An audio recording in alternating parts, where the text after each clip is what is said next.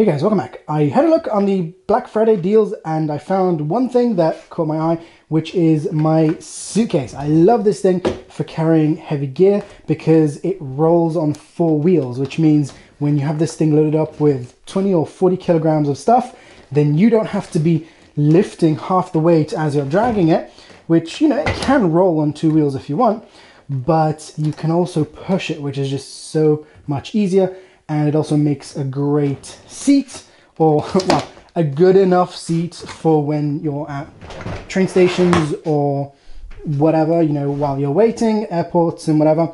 This one is a bit thinner than my previous one which i reviewed. And i actually did the swap. I sold that one to a friend and i bought this one for a bit more money because it's lighter weight and larger than the previous one. This thing is huge.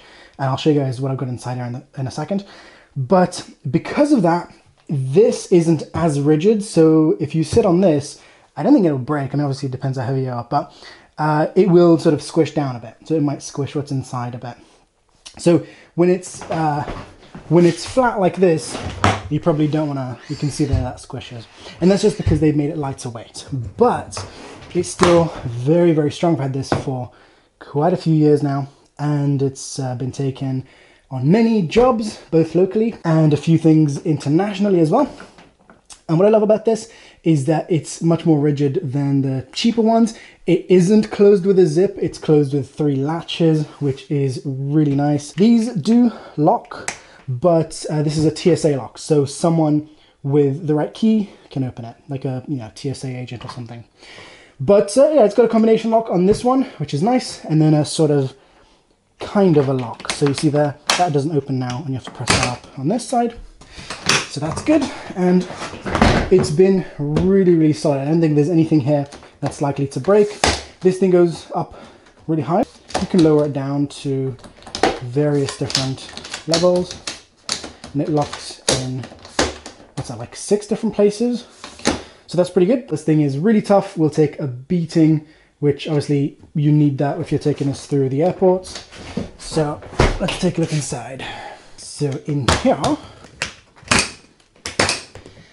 this isn't necessarily the stuff I'd take on a shoot with me, but just to show you guys what this thing looks like when it's uh, fairly full up. So I've got two Spekular lighting kits. These are actually empty right now because I'm using my uh, Spekular light to film this Pixapro gimbal. Big ass tripod, the Manfrotto 535. This thing is huge. And you could easily fit this in here with a padded carry bag, but I couldn't be bothered. I just took this out of the cupboard and put it in there as it was. And then obviously you'd want that with a fluid head. This is my Varavon. And then a little non-padded case with, you know, random little things, whatever you need, plugs and whatever. And then a big slider, my iFootage,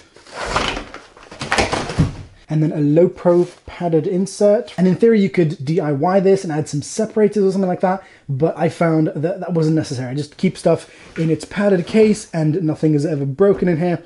So for me, that's good enough. But if you keep fragile stuff in here with the heavy stuff, then you'll want to put them in something like a Pelican case or something really protective, not just a camera bag. Personally, I don't normally keep my lenses and cameras in here. I just prefer them on my back and they're not that heavy. So just the heavy stuff goes in here and then uh, I would have you know a couple of light stands and whatever else I need. So this thing has been fantastic. Size-wise, from corner to corner, it's about 88 centimeters or about 34 and a half inch. And from uh, top to bottom, it is about uh, 77 centimeters or about uh, 30 and a quarter inch. The width is about 52 centimeters or about 20 and a half inch height is about 32 centimeters or about one foot and a half inch. The weight of this, about five and a half kilograms, which I think is pretty damn good for a huge hard rolling case. Now this Samsonite will easily hold most lighting diffusers, but it just won't fit the Pixapro 150 centimeter Octadome. It's just too huge. So for that, I would say just fold it down, fold really easily, and put it into its uh, little carry bag and just strap it to your backpack where a tripod would normally go. I think even Pixapro don't have a case, like a rolling case big enough to hold that. I could be mistaken.